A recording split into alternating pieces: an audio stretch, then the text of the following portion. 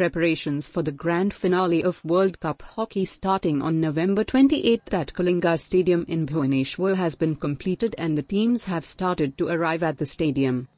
The Indian team is preparing hard for winning the World Cup and the team is confident they will repeat the history of 1975.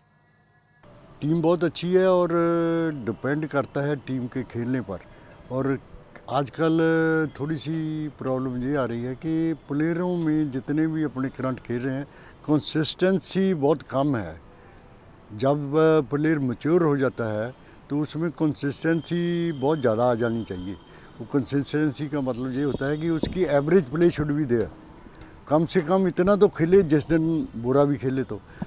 ऐसी अभी कुछ player जैसे नए लिए हैं उनमें कंसिस्टेंसी कम है।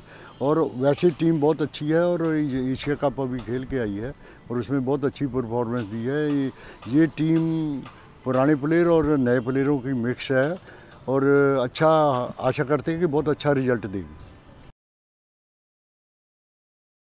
बहुत अच्छा है और काफ़ी खेल चुका है ओलंपिक खेल चुका है और वर्ल्ड कप एशियन एशियन वो जीते हैं उसका भी मेंबर था और अच्छा खेल रहा है। अभी उसने वो मिड लाइन में खेलता है तो वो बहुत अच्छा उसने पाकिस्तान पर भी इस एशिया कप में गोल किया और he is playing very well जैसे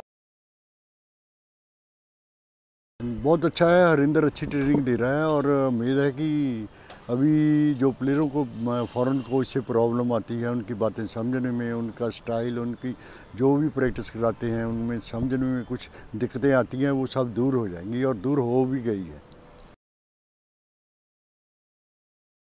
आ, बहुत अच्छा कम्बिनेशन है उनका अच्छी अंडरस्टैंडिंग है और आशा करते हैं कि ये वर्ल्ड कप में बहुत सारी टीम अच्छी खेलेगी।